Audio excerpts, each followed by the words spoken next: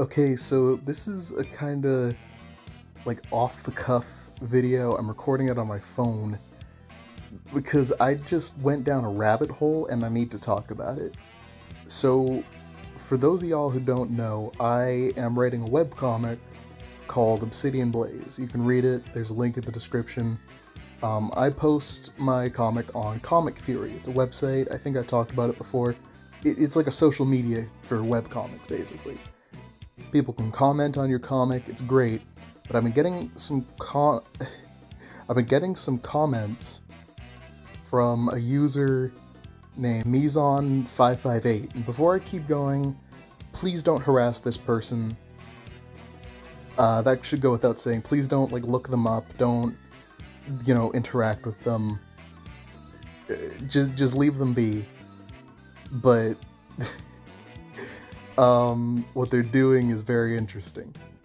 Basically, on on the last couple pages of my comic, they have been leaving comments asking for me to do prehensile hair comic pages.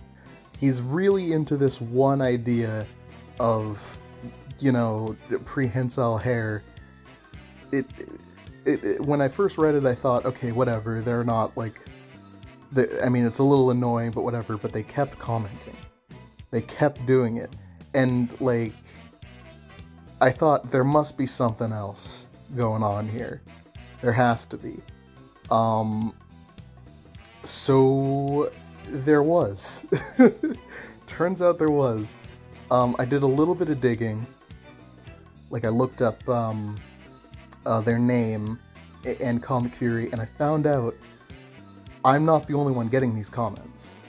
They have been pestering so many people and it's all asking for can you do prehensile hair?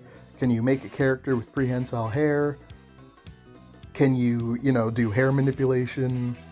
Can you do that or whatever? Like it's it's constant. It's the same comment. He's asking so many people for this. Like holy shit holy shit here, here it is on reddit. They posted on on the the reddit um the webtoon subreddit.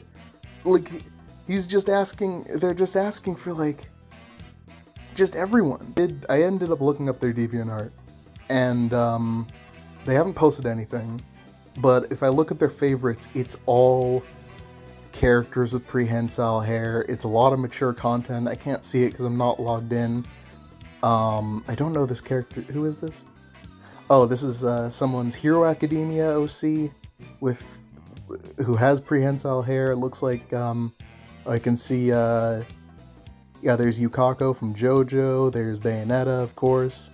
Oh, Midna, like. Oh, of course. Yeah, there's hair job stuff, of course. and then, of course, um, I don't know why I expected this. Uh, the Loud House fandom. Of course they're a fucking Loud House fan. There's the Loud House wiki, and if I look at their posts, it's all well, there's just one, but it's a reply for someone asking, like, what if they had hair manipulation powers? they asked cartoon hooligans to do Medusa versus Rapunzel. This is this is just what they're into. They just really like fucking prehensile hair that's just a thing that they like and they've been asking so many people and that's all they're asking about. Holy shit. I'm looking at the the the webtoon wiki. This is just like a general wiki for all webcomics or at least all webtoons and they're asking about uh prehensile hair who, who is this? Who is this person? Anyway i i just i i fell down this rabbit hole. I needed to talk about it please do not look this person up. Don't harass them. They, don't deserve it. I just. Holy fuck, right?